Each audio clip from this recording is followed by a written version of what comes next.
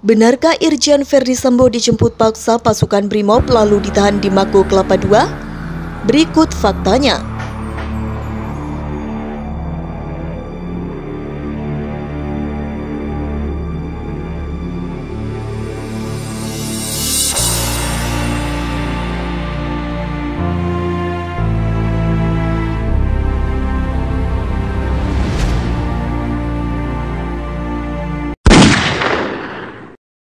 Dapur berita artis terkini. Hai guys, semoga kabar Anda baik-baik saja. Selamat datang kembali di channel Duster Infotainment.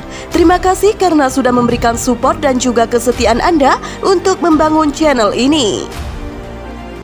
Pada artikel ini akan kami ulas benarkah Irjen Verdi Sambo dijemput paksa pasukan BRIMOB lalu ditahan di Mako Kelapa II cek faktanya.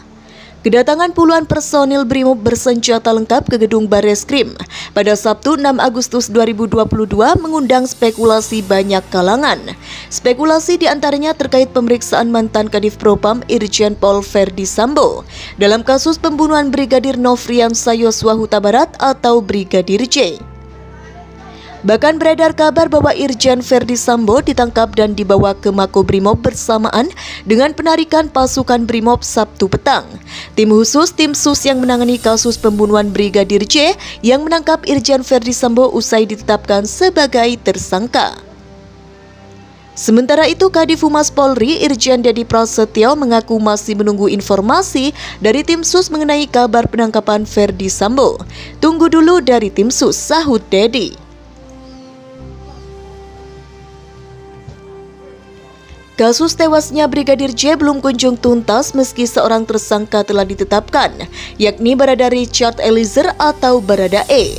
Penetapan Barada E sebagai tersangka sendiri masih dipertanyakan banyak kalangan karena karena diliputi sejumlah kejanggalan. Artikel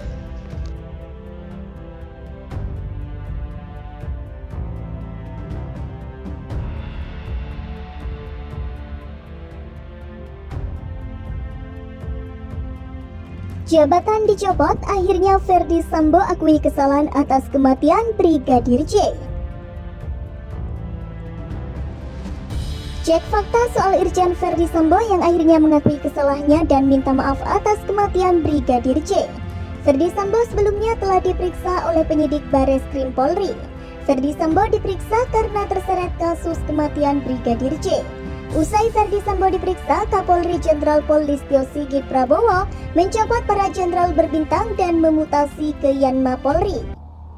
Nama Verdi Sambo ada di dalamnya Verdi Sambo dicopot dari jabatannya sebagai Kadif Propam dan dimutasi sebagai Pati Yanma di Polri. Tak hanya itu, sebelumnya juga Polri telah menetapkan Barada Richard Eliezer atau Barada E sebagai tersangka atas kasus kematian Brigadir J.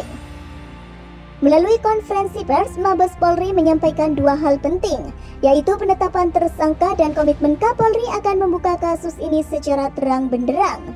Dirtipidum Bareskrim Polri, Brigjen Andirian mengatakan, telah melakukan gelar perkara terkait laporan terkait kematian Brigadir J.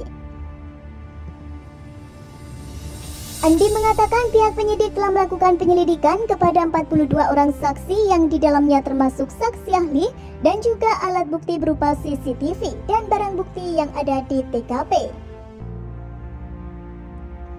Meski sudah dilakukan penetapan tersangka, Andi menegaskan kasusnya tidak berhenti sampai di sini lantaran masih ada saksi yang akan dilakukan pemeriksaan lanjutan.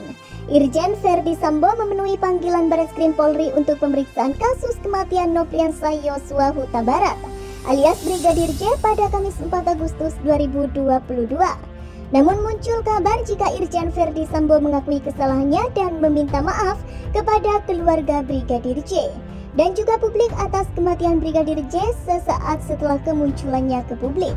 Kabar itu beredar dari kanal YouTube TV Rakyat yang mengunggah video berjudul Akhirnya Ferdi Sambo minta maaf dan akui kesalahannya pada Kamis 4 Agustus 2022.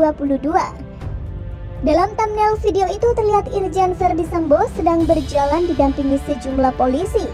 Sampai menangis Irjen Ferdi Sambo akhirnya minta maaf. Isi dari thumbnail video dari kanal YouTube TV Rakyat.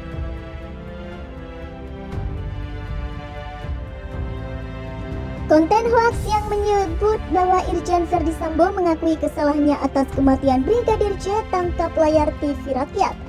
Setelah ditelusuri ternyata informasi yang menyebut Irjen Verdi Sambo akui kesalahannya dan meminta maaf atas kematian dari Brigadir J adalah hoax atau tidak benar. Di dalam video berdurasi 8 menit 6 detik itu tidak terkandung informasi seperti yang ada diklaim pada judul. Video tersebut hanya mengandung cuplikan pernyataan dari Irjen Verdi Sambo atas kedatangannya ke Baris Krim Polri guna memenuhi panggilan penyidik. Irjen Verdi Sambo menyampaikan bela sungkawa atas meninggalnya Brigadir J. Saya selaku ciptaan Tuhan menyampaikan permohonan maaf kepada institusi Polri. Ujar Irjen Sambo dikutip dari PMJ News pada Jumat 5 Agustus 2022. Demikian juga saya menyampaikan bela sungkawa atas meninggalnya Brigadir Yosua. Semoga keluarga diberikan kekuatan, tuturnya. Namun semua itu terlepas dari apa yang telah dilakukan oleh saudara Yosua pada istri dan keluarga saya, sambungnya. Irjen Verdi Sambo kembali mengungkapkan pemeriksaan hari ini adalah yang keempat kalinya. Sebelumnya Verdi Sambo juga diperiksa di Polres Jakarta Selatan dan Polda Metro Jaya. Irjen Verdi Sambo pun berharap masyarakat tidak membuat asumsi serta persepsi yang menyebabkan kasus ini simpang siur. Ia meminta masyarakat untuk bersabar. Saya harap kepada seluruh pihak dan masyarakat untuk bersabar tidak memberikan asumsi persepsi yang menyebabkan simpang siurnya peristiwa di rumah dinas saya, tandasnya.